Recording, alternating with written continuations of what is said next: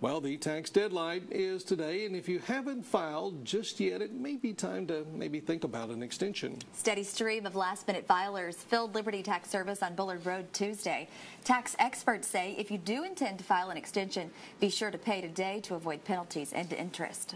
Past years would absolutely be a guide if nothing's changed. But many times from year to year, a taxpayer situation changes. So you need to look at what you've paid the government already and what your tax bracket is.